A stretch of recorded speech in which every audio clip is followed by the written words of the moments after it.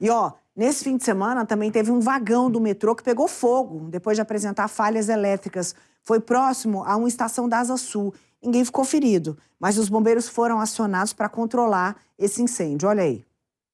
Este vídeo, gravado por um passageiro logo após o incêndio ser controlado, mostra os vidros quebrados, parte do vagão queimado e muita água no chão da estação. Os passageiros precisaram ser retirados do vagão depois que o trem apresentou uma falha na altura da estação da 110 Sul. Já sem os passageiros, o piloto seguiu aqui para a estação da 114 e, no caminho, percebeu sinais de fumaça. O caso foi na noite do último sábado. O piloto percebeu que tinha uma movimentação diferente dos usuários na plataforma e ele parou o trem na estação 110, desceu para verificar o que, que, estava acontecendo e percebeu que é, em um dos vagões daquele trem estava tendo ali sinais de fumaça. Então, o que, que ele fez?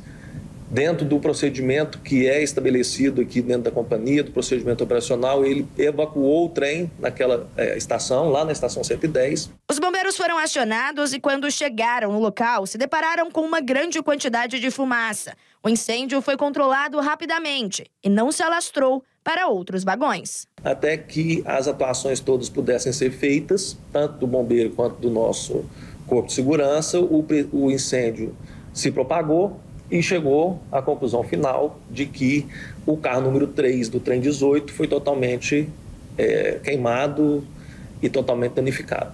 Nenhum passageiro se feriu, mas os trilhos precisaram ser desenergizados e a circulação do metrô foi interrompida em todas as estações da Asa Sul. O serviço foi restabelecido por volta das 10 horas da noite e o metrô segue funcionando normalmente. Segundo o diretor-presidente da companhia, o trem que apresentou falha estava com todas as manutenções em dia. Esse trem específico, o trem número 18, passou pelo exame de termografia e nada foi identificado. É um trem que estava, é, sob o ponto de vista de manutenção, operando de uma maneira muito segura, com a manutenção 100% em dia. O vagão que pegou fogo é da série 1000. Começou a chegar no DF em 1994, ou seja, há 30 anos. O trem foi encaminhado para o pátio de manutenção do metrô, onde vai passar por perícia. O resultado deve sair nos próximos dias.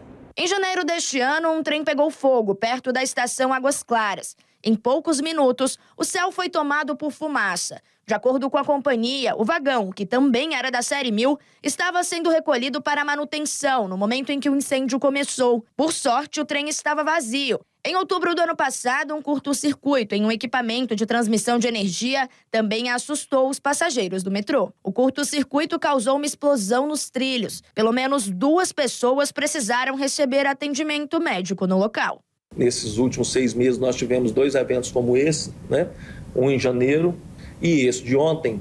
Nós também vamos tomar aqui uma medida é, outra diferente daquela que nós já fizemos em janeiro. Então, conversei com os diretores da empresa fabricante desses trens para que eles possam vir nos auxiliar a fazer uma inspeção mais detalhada e determinar é, eventualmente um programa de manutenção, reabilitação ou um plano de ataque para que a gente possa, primeiro, identificar é, se é um componente, se é algum sistema que tem causado esse tipo de incidente, uma ação que vai fazer uma reabilitação, especialmente dos trens da série 1000, para que a gente possa definitivamente é, mitigar e eliminar esse tipo de risco dentro do nosso sistema. Atualmente, o metrô atende cerca de 160 mil pessoas por dia.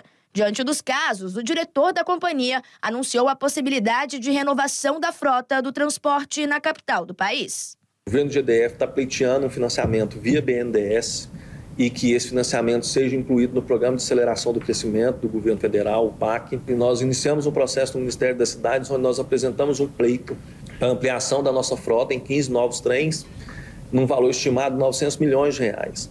Esse projeto foi apresentado no Ministério das Cidades, já tem a aprovação do Ministério das Cidades e já tem também a habilitação do PAC para esse projeto. Está habilitado dentro do programa de Renova Frota, que é a linha de financiamento de onde nós faremos o recurso do BNDES para comprar esses 15 novos trens.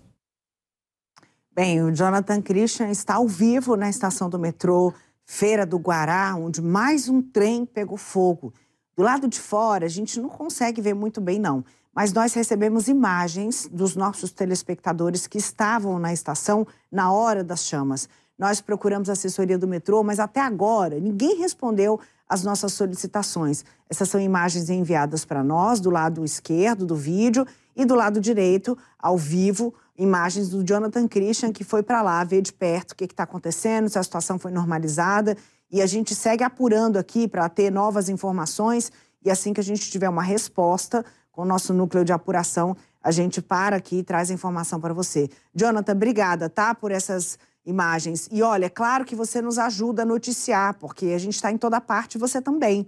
Então, o nosso número é o 99 8888. Esse é o WhatsApp da Record feito para você. Combinado?